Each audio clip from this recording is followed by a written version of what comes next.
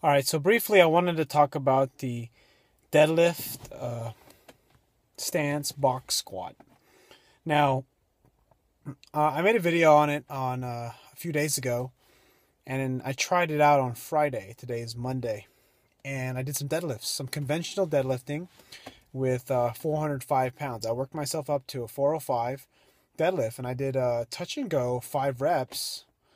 I want to say fairly easy, and then I did another set of six uh, because I felt like five was too much. I didn't want to go up in weight, and then I went ahead and did uh, 425 conventional deadlift.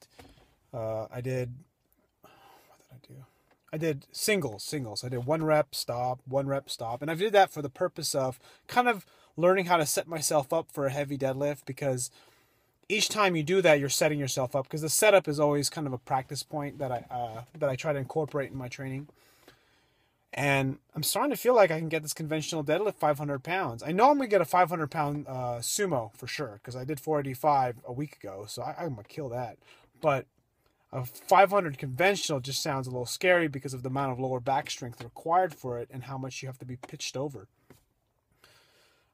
So I did a uh, when I did the deadlift stance box squat on Friday. I went all the way up to 355 pounds. I did a set of five, and I was surprised how easy it was. It was easy because I didn't go that low. Because on a deadlift, you don't squat that low. It's only a partial, and I'm finding that I can load that bar with a shitload of weight. So I think on Wednesday I'm going to go ahead and try to get 375 on there and then maybe even 400 pounds. Now, there's a huge mental thing with 400 pounds for me on the squat because I've never squatted more than 360 pounds. I've never held it more more than that in my back, and it, and just the thought of it kind of gives me a little bit of a kind of cringe or butterflies.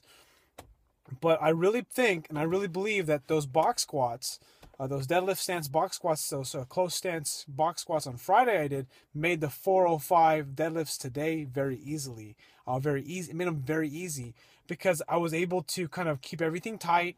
Uh, it, it just made such a big difference because of having that extra load on my upper back. So I'm looking forward to trying out on Friday. I, I mean, you know, I deadlift and squat pretty much every single day, so I'm gonna have kind of a lighter day tomorrow with squats and deadlifts, kind of focusing on technique, light weights. I kind of like doing squats mainly just to maintain my flexibility because I'm very tight. I've only been able to full squat for about maybe a little over a year, and uh, I'm finding the more frequent I squat, squat, the better I get at it.